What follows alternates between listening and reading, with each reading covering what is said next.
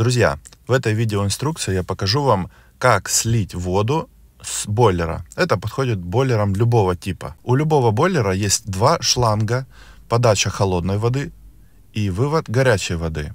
Как вы можете заметить, на подаче холодной воды в самом верху, перед обратным клапаном, стоит резервный кран для того, чтобы слить воду из бойлера.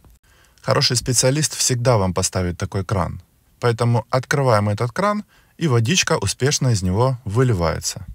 Чтобы процесс был максимально комфортный, нужно открутить патрубок горячей воды и открыть кран резервный для того, чтобы через патрубок горячей воды заходил воздух. Подставляем нужную посудину, чтобы водичка не лилась на пол, и бойлер активно опустошается. Чтобы сделать этот процесс еще более комфортный, можно взять шланг, подключить его к крану резервному и направить в унитаз или умывальник.